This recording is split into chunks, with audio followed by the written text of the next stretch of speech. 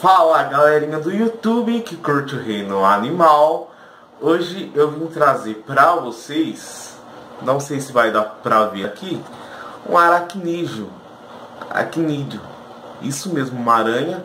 Essa aqui é a Licosa eritrognata Tá? Eu encontrei ela no meu quintal Quando eu estava lá brincando com os meus cachorros.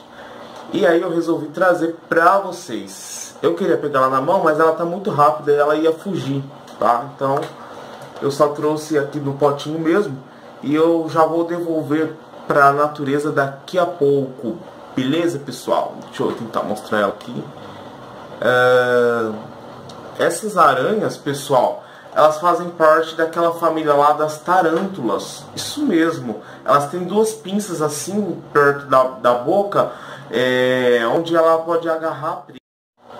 Elas, pessoal, são carnívoras, tá? Então elas se alimentam de pequenos insetos é, que ela achar na natureza ou até mesmo outras é, aranhas, ok? Ela tem veneno sim, pessoal, mas esse veneno é nocivo ao ser humano. Esse veneno só vai fazer algum efeito nas presas que ela formatar ali para comer, tá? É, no ser humano vai causar ali o que? No momento daquela picada, por exemplo, no braço, vai ficar bem vermelho em volta do braço, tá? Fica bem vermelho assim em volta, com a picada no meio. E se você não tratar rapidamente, aquela ferida ela pode ali se necrosar, é, vai criando pus, vai fazendo bolha, etc. Tá? Então, se você não for procurar um médico para ele te receitar uma pomada antibiótica um antibiótico ali para não inflamar o, o, lugar, aquilo ali vai ficando cada vez mais feio, pode infeccionar até e aí leva a complicações. Se a pessoa também é alérgica, aí ela tem que tomar o dobro de cuidado para para não piorar ali a, a ferida, tá? Feita pela aranha. Ok, pessoal? Ela quase escapou. é...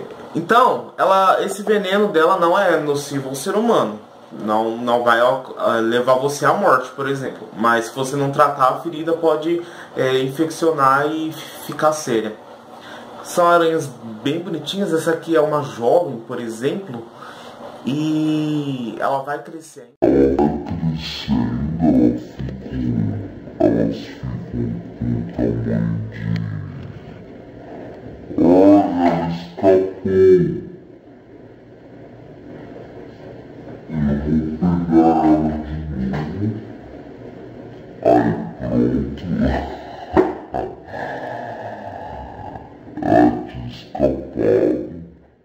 Elas podem ficar no tamanho de 5 centímetros, as fêmeas podem botar uns 800 ovos mais ou menos. Elas são bem territorialistas, não vivem juntas, só se aproximam é, quando elas vão ali se reproduzirem.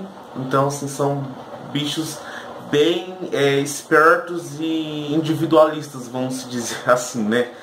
Eles não vão te picar se você não perturbá-los. Ele não vai atrás de você para te picar. Mas se você, por exemplo, encostar nesse animal, ou pressionar com o pé, por exemplo, pisar em cima, ou bater a mão, ele vai te picar com certeza, tá? Ele não vai ali do nada te picar.